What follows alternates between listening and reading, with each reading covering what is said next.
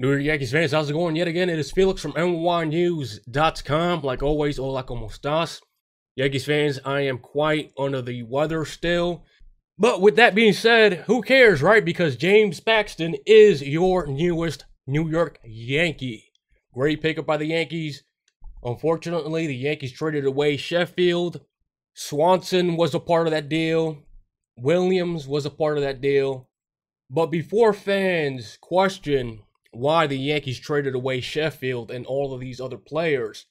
It's because they fell off the radars of the Yankees, especially Sheffield. They Didn't really have the height, they didn't really have the velocity. Long story put short, the Yankees thought Sheffield was an average pitcher.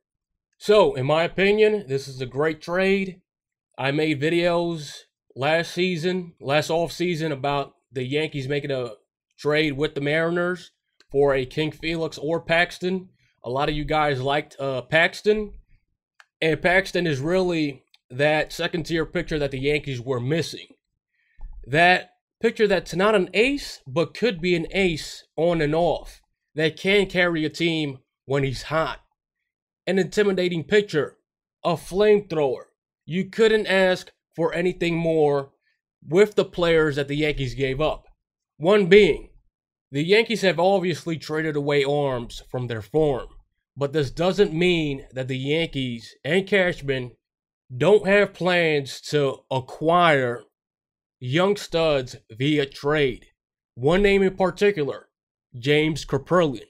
I, for one, I think it's a 50 50 chance that Sonny Gray returns to the Oakland Athletics.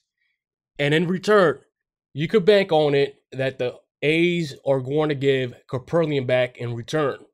So, yes, like I said, with this Paxton trade, I think the Yankees have other moves to make. I think for the people that are complaining about the Yankees trading away Sheffield, oh, the Yankees are trading away arms, etc., the Yankees are not finished.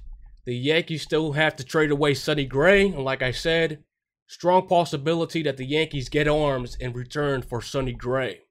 Also, for the fans that are upset that the Yankees didn't go out and trade for Kluber, I mean, Kluber would be nice, but Kluber would be like uh, trading for Glavine or Maddux when they were about like 34 to 35 years old.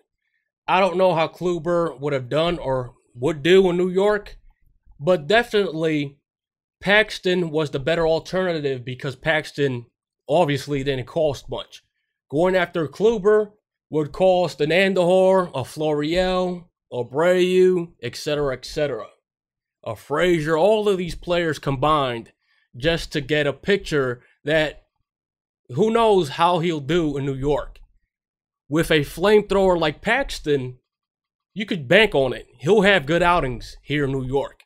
And people keep forgetting that Paxton is a big lefty arm with upside. He's only going to improve. He's very similar to Randy Johnson. Randy Johnson didn't really find his stuff till later in his career. It's very similar with Paxton. So, great pickup for the Yankees. Expect uh, future moves, obviously. Look out for uh, Corbin's price to drop as he's looking for a deal similar to Yu Darvish. Obviously, we all know Yu was a flop, so teams aren't really going to offer Corbin that much. So expect his price to come down. I expect the Yankees to uh, sign Corbin, and that's a pretty good rotation. Severino, Paxton, Corbin, Tanaka, and if you want, you throw in uh, CC in there. I, for one, if I were the Yankees, I wouldn't even approach uh, Happ at this point. You brought back CC Sabathia. That'd be uh, two old pictures you have in your rotation. I'll go right ahead um, and wait for Corbin.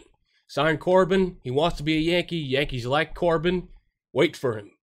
So, Yankees fans, like usual, leave your opinions in the comment section below. Do you like this trade? What other future signings and trades do you see? Leave your opinions in the comment section below. And like always, this has been Felix from NYYNews.com. Share, like, and subscribe, and I will check you out next time. Yeah,